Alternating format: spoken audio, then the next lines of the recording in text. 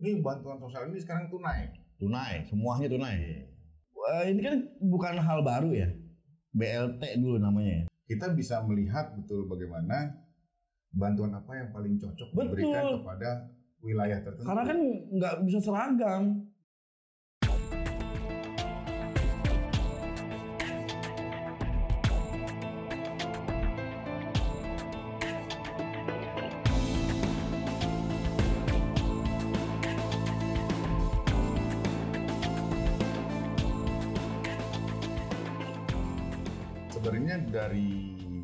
Data itu bisa disinkronisasi juga kepada BPJS Iya. dan pesertanya. Kita bisa melihat betul bagaimana bantuan apa yang paling cocok Betul. diberikan kepada wilayah tertentu. Karena kan nggak bisa seragam. Iya. Iya, mungkin Bisa aja RT di sini semuanya penyakitnya kolesterol jadi jangan jangan banyak banyak kasih minyak gitu ya. tuh jangan kasih minyak, terus Iya. kasih aja tiap hari sayur. Iya. Ya mungkin gitu. Terus ada RW lain yang orang-orangnya Mm-mm. loyo ya kan. Iya. Oh ini kayaknya perlu asupan Suplemen protein nih. tinggi Oh. ya kan. Iya benar gitu. Dikasih sate tiap hari ya kan. Ya jangan. RT masing-masing provinsi kan punya karakteristik sendiri kan. Orang yang di pegunungan Papua Dan lebih butuh apa gitu. susah. Harusnya nggak susah ngumpulin data kayak gitu. Betul, betul, betul. Akhirnya nggak ada yang lucu sekarang juga tuh selain itu. apa? Ini kita nggak bicara soal nggak bukan hanya bicara soal negara ya, Hah? tapi warga negara. Jadi ada fenomena tuh kaget duit. Kaget duit itu gimana? Hmm? Ini bantuan sosial ini sekarang tunai. Tunai, semuanya tunai. Kayak lagu Mungkin Sanda belum? Tunai, Tunai. tunai, Nah, nah, nah, nah, nah, nah, tunai. Saya pernah dengar dari om saya ya. Oh, iya, iya. NKOTB. Eh, ini kan bukan hal baru ya. BLT dulu namanya ya, bantuan langsung tunai dari zaman-zaman pemerintahan BLT sebelumnya. bukan yang temennya malih. Ah, bolot atau belet BLT juga. Iya. Iya, kan banyak pelajaran yang bisa diambil ya dari situ ya. Hmm. Dulu kalaupun mau misalkan menghindari disunat atau menghindari apa kan banyak pelajaran bisa diambil. Menghindari sunat berarti jangan dekat-dekat sama Iya, bengkong. bengkok. Iya, iya maksudnya uh, penyalahguna, uh, penyelewengan atau segala ma- di segala macam uh, kejahatannya bisa di bisa di uh, minimalisir lah ya dengan pengalaman-pengalaman sebelumnya. Nah, Nah masalahnya bantuan tunai ini juga eh sekarang kan harus langsung ke penerima nih hmm. lewat rekening segala macam. Tapi kan eh, rekening apa namanya bank atau yang lainnya lah ya kantor pos juga. Tapi kan nggak dibarengi sama tingkat eh, literasi. Tuh, bahasa yang paling sering itu belakangan literasi. Eh, li, li, literasi. Literasi. Liter Liter dan terasi. terasi liter. Maksudnya gini, busuk ngomongnya. mungkin udah bu- eh, kalau inklusi banyak ya kalau mau ngomong soal inklusi kan eh, keterpaparan apa eh, keterjangkauan orang terhadap eh, layanan ke- keuangan atau perbankan gitu mungkin lebih tinggi daripada itu tapi pengetahuan terhadap eh, sistem keuangan sendiri kan sangat terbatas kita gitu Betul. Jadi jangan jauh-jauh dulu ngomong soal bagaimana menabung. Mm-mm. Terus eh, dari tabungan ini Anda bisa dapat berapa dan sebagainya. Tapi Mm-mm. harusnya oh berat betul ya. Jadi tiap apa namanya kita harus sering-sering menggulirkan ayo menabung eh, ayo menabung menggulirkan pesan bahwa cuy duit lu jangan dihabis-habisin sembarangan gitu. Iya. Belilah hal yang penting. iya Kan? Tapi kan prioritas tiap individu beda, Pak. iya Ada Ya. orang yang dia pikir kopi sama rokoknya udah cukup, beras kagak perlu. atau prevalensinya memang beda gitu Masih beda, Ah. betul. Jadi harusnya ada literasi gaya hidup, dan literasi keuangan keuangan, ya, terus dengan berfokus pada aspek kesehatan. Iya. Bisa ya gini nih maksudnya ya supaya jadi lebih apa namanya lebih teratur dan lebih eh, efektif gitu ya maksudnya. Ya harus kasih tahu juga kalaupun memang harus masuk ke rekening ini kayak gimana? Terus kalau membelanjakannya seperti apa? Ngambilnya kayak gimana? Ya kan? Kalau itu sih saya rasa sih pasti pasti ya mudah mafhum lah orang-orang, mudah paham iya. bagaimana Begitu ngambilnya. juga. Dulu kalau orang tua orang tua yang di atas 60 lansia itu mengingat pin itu bukan perkara mudah juga kadang-kadang pin ATM aja iya kan Dua, Masa dia- dua minggu lalu saya keblok. Orang tua dong berarti lansia ini kan ngomongin lansia Menurut WHO Iya. belum tua. oh, belum Belum. Saya masih dalam eh, udah mau menjelang apa maghrib kontemporary. Jadi dewasa yang ada kontemporer. kontemporer iya. Kayak segmen di Grammy. segmen ada- Iya maksudnya gitu. Eh masa harus ditahu kan ngeri dibohongin juga ya kalau harus ditemenin sama Oh orang. itu kayak membuka gimana. celah kerjaan baru. Eh, penitipan itu. Calo, Nah, ya kan, untuk mengurus pencairan bansos KTM. ke ATM. Hmm. Itu punya lah ya Tuhan perbankan udah. orang orang pin nggak boleh kasih tahu sama siapa siapa. Iya. Ini malah dikasih tahu orang. Iya. Gitu. Tapi itu juga nggak lucu kalau kita kan selalu disuruh. Tapi jadi banyakan dia itu calonnya. Loh ya, Ada 30 orang dapat masing-masing satu RT. Iya. ya kan. sepuluh ribu, sepuluh ribu kasih dia, dia sendiri ada banyak dapat. ngambil bansos 600 ya Iya. kan. Terus eh, dia mungut 15 ribu deh atau 20 ribu ya Iya, banyakan dia jadinya. kan. Iya kan? Tapi selalu terbuka kan untuk Ada, ada, pasti, ada aja pasti. Orang Indonesia tuh sudah kita suka tulis gak ya? suka terlalu kreatif ya. Jangan-jangan ada ya? Bisa jadi. Belum kejadian aja ini. ada di negeri ini ya. Bener. Gini, semua dicaloin. Iya. Karena yang saya dengar-dengar juga ngurus bansos aja, eh bukan bansos, apa BPJS aja ada calonnya, Mm-mm. ya kan? Udah situ terima jadi aja. Iya. Pokoknya nanti ini persentase sekian buat saya. Iya. Gitu kan. Dan banyak orang yang nggak mau repot akhirnya ya udah deh. Gitu. Itu persoalannya adalah kita nggak mau repot. Mm-mm. Kita cuma pikir kita harus cepat. Mm-mm. kan? Ya ini kan nggak eh, generasi tua apa yang lansia ini atas 60 ini kan eh, terpap keterpaparan sama teknologi per- perbankan kan belum terlalu eh, banyak ya dia ya. Dulu juga perbankan Masih masih juga ngobrol tuh sama mereka. masih manual nulis gitu. galak-galaknya pemerintah mensosialisasi branchless banking. Mereka bingung. Hmm.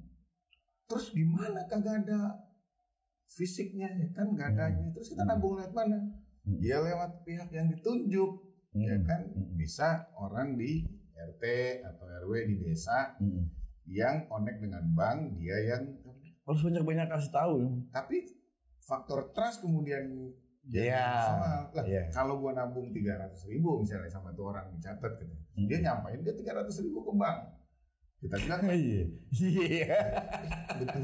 Iya iya benar-benar. Tapi kan bilang kan ada catatannya. Heeh. Tapi kan ya Nah lebih ribet lagi nanti ketika dia mau ngambil nih, dia udah bisa ngambil, kan ada aturan bank yang menyisakan uang 100 atau 50 ribu. oh iya iya harus minimum saldo. Iya, dia ngambil dalam seribu, sangkanya orang yang business banking itu, tuh kan gue cuma bisa ngambil dalam seribu. Oh sih. Iya. Bisa, bisa dituding nyong. sian, sian juga ya. Betul, Iya. betul. Kan itu lah literasi kan sebenarnya kan artinya kan. Iya. Yang harus dikasih tahu ke mereka segala macam. Nggak nggak semudah itu juga gitu untuk eh, mengedukasi orang-orang kebanyakan kan. susah mungkin ya kita juga gitu kan Eh, kita selalu suka mengartikan bahwa dapat uang di luar kebiasaan Mm-mm. ya kan, Hmm. adalah rezeki nomplok Hmm. rezeki nomplok yang sebenarnya kita juga tergagap untuk Akhirnya jadi belinya yang nggak Iya. nggak penting gitu ya. bagaimana ini ngisi pos-pos yang rutin Hmm. tapi kita ngeliat wih ada nih duit ya kan Hmm. gua beli ini dah beli itu ya kan Hmm. Kemu- kemudian pikirannya apa ah nanti gua susah dong setengah bulan Ya ini harusnya harusnya makanya juga bisa ngutang lagi sistem tunai eh, bantuan tunai ini atau cash transfer lah ya. gitu.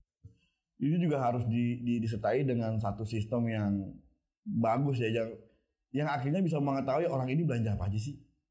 Gitu. nggak cuma sekedar cuma ngambil dari ATM terus bisa lah dibikin sistem kalau lu belanja itu kebutuhan pokok di warung A B ini yang ditunjuk gitu kan. Di setiap kelurahan warung A warung nah itu juga kan memberdayakan ekonomi lokal kan. Oh iya menarik. Iya kan? Eh, warung A warung si Ucok warung si ini gitu kan. Eh, si Ujang segala macam beli di situ. Oh iya. dikasih tunai kan dikasih tunai sama kantor pos. Nanti kan bisa ketahuan tuh dari si Ujang dari si Ucok itu bisa ada catatan. Siapa aja yang mungkin gitu ya harusnya dibikin sistem yang gampang. Bikin aplikasi gampang kali ya untuk kayak gitu kayak ya- gitu Itu realistis. iya Dengan kayak gitu tadi kita cuma bu- bukan cuma punya DTKS tapi punya data komplit big data betul itu kan penting banget warga itu bagus banget jadi orang juga eh, konsumsi apa sih yang paling banyak di saat kayak gini gitu kan Betul. Nah, orang tuh banyaknya prefernya ke mana sih gitu Oh kan. itu mematikan itu dong marketing agency dong. Iya, pemerintah seharusnya bisa lebih bagus dong daripada marketing agency atau intelijen marketing intelijen gitu kan. Itu lebih lebih cakep mereka Atau harusnya. bekerja sama lah dengan marketing intelijen. Ah, ah. iya, artinya banyak yang bisa diraih langsung ya. Itu kan udah eh, bantuan tunai itu juga cuma sekedar tunai tapi bisa eh, banyak multiplier efeknya. Menggerakkan ekonomi lokal, Betul. eh, Gue kebayang jadi belanja lah di tetangga. jadi gini kalau gue kebayang misalnya misalnya kayak lu, lu tadi ngomong eh, warung ini eh, untuk untuk desa Anu ya kan Mm-mm. pemerintah mengucurkan bantuan tunai Mm-mm. eh, kepada lima puluh ribu orang Ah, masing-masing orang dapat dua tiga ya ribu kan, dapat gitu. rata dong sama ya kan Ah, Terus tapi kemudian dipul di beberapa warung-warung ini Iya.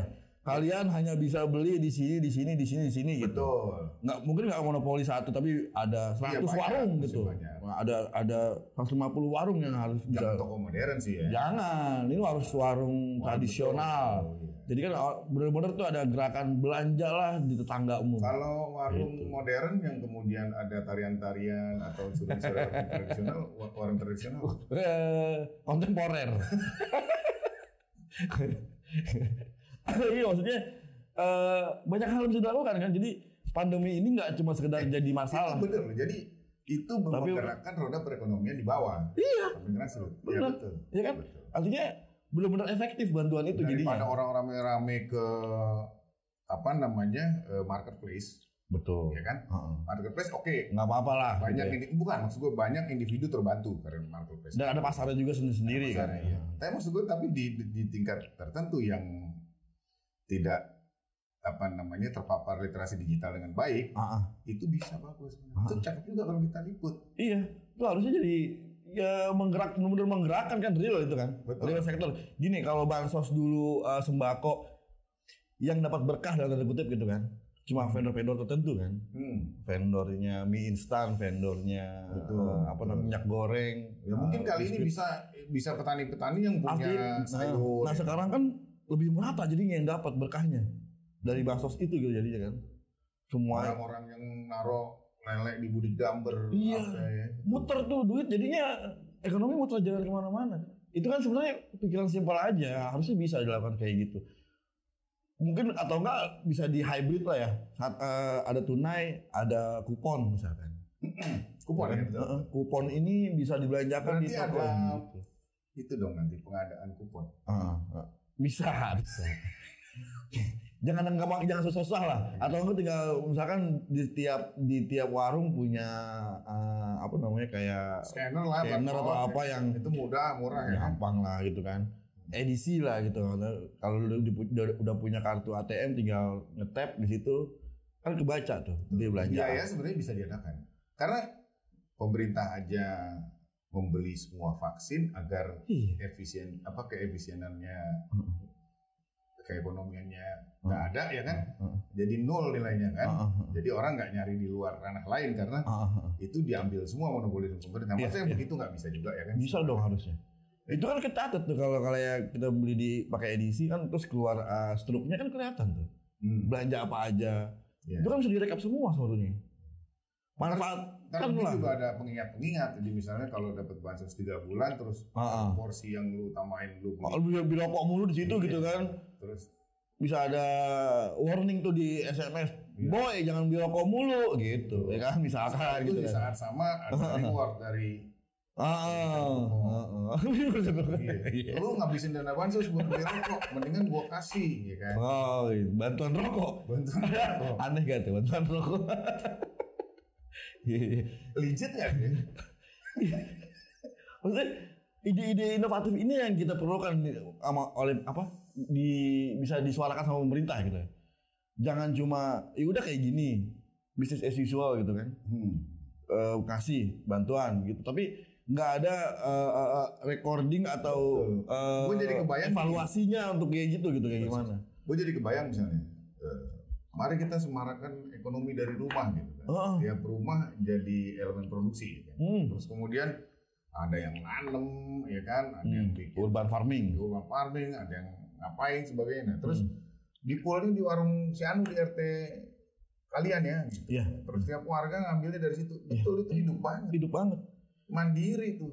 Sebagai koordinatornya kelurahan atau eh, kepala desa gitu kan. Betul. ini lu pokoknya guys tanggung jawab beban itulah lu Apalagi- pokoknya ngurusin aja daerah lu kayak begini catatan semuanya diiniin harus Betul, aparatur daerah apa sih susahnya data warung-warung ya kan? ya dia punya tang- tangan lagi kan di RT RW segala Hmm. macem gitu kan udah dikasih insentif juga tuh RT RW ya bisa lah harusnya apa sih yang susah Menarik. kalau memang pengen ada Breakthrough. breakthrough ada hasil yang pandemi ini nggak cuma jadi masalah tapi ada berkah yang bisa diambil Betul. gitu inovatif dan ada kebaruan lah yang di ini ya gitu jangan Iya, cuma BLT dari gue juga BLT apa namanya kenaikan BBM dapat BLT gitu. juga dengan ini apa eh, waktu Jakarta memberikan kartu Jakarta Pintar ya, ya ya kan Hmm. sumbangannya buku dan sebagainya beli. Terus Ya. kemudian kan sampai ada tuh apa peringatan kepada eh, rumah-rumah tangga yang ternyata kemudian membelikan oh buku. itu kan itu bisa berarti kan record kan betul itu kan iya betul. iya oh ternyata dia gue jadi tadi kepikiran, oh iya itu bisa toko itu. Iya. Karena diberi otorisasi bahwa semua di daerah ini ambilnya di sini ya, Iya. ya kan? Pokoknya ada kerjasama sama dari pemerintah daerah atau pemerintah pusat Hmm. toko-toko ini aja lah yang sudah Iya dari gitu. pengelolaan itu kan ketahuan akhirnya Iya. yang mana yang betul ngambil mana yang enggak. Betul. Dan lu beli baju ternyata lu bala beli uh, Pulsa. pulsa atau bala beli jersey bola gitu kan kan Iya. ngaco gitu kan. Gitu. Enggak berarti nggak sampai dan nggak tepat nggak tepat guna nggak tepat sasaran. Menarik itu kalau kita gulirkan itu juga. Harus gitu. Bahwa kita ngajak nih orang-orang pintar di negeri Iya. untuk mikirin Ini apa yang ini baru dari kita yang cuma sekedar mikir uh, nggak dalam maksudnya nggak nggak mikir secara lebih komprehensif ya. betul. Mungkin ada pemikir-pemikir di bangsa ini atau di pemerintahan yang lebih dalam lagi untuk mengulas ini semua. Oh iya, ada yang bisa dimanfaatkan dari ini semua. Karena Kayak- kita juga ngelihat polemik belakangan, ini kayak apa ya? eh, jadi si malakama pemerintah ngasih dalam bentuk apa namanya non tunai salah, ya kan? Iya. Terus kemudian ada yang memanfaatkan. Ah. Terus kemudian sekarang setelah dikasih tunai juga ada yang polemik jangan dong jangan dikasih tunai nanti orang gini gini gini gini gini Mm. lah ntar dikasih bantuan salah kagak dikasih bantuan salah sementara nggak ada yang ngasih memberikan formula-formula gitu untuk Ah. bagusnya begini Ya minimal memang nggak ada yang 100% bakalan uh, sempurna ya semua Ya. sistem ya. Tapi sem- karena kesempurnaan milik Allah dan under the backbone. oh iya Iya iya. Ya maksudnya eh ada yang gimana ya? Eh pemerintah itu punya punya punya apa namanya tujuan tersendiri lah. Hmm. Jadi kalaupun gue udah mengeluarkan duit ratusan triliun ini, ada dong feedback yang bisa gue ambil, ya kan? betul Ada dong hasil yang Nah, gua cuma gua memberikan stimulus Ah. kemudian mengorbankan tabungan atau apa pun Hmm. whatsoever yang ada Ah. di keuangan negara Iya. tapi juga ada something yang kita dapat dari situ Betul. Itu kan momentum sebenarnya hal kayak gini kan. kepuasan warga negara bahwa Betul. ya negara hadir, Ah. kita dapat bantuan dari pemerintah. Ada. Kalau di hari-hari normal susah nih kita bakal mendapatkan data itu, Hmm. ya kan harus ada ada survei, harus ada sensus segala macam yang makan banyak biaya segala. Dengan kayak gini kan harusnya jadi momentum nih bisa. Ya. Ya kan? ada unsur memaksa. Iya, ada justifikasi untuk gue biar gue harus dapat data itu. Hmm.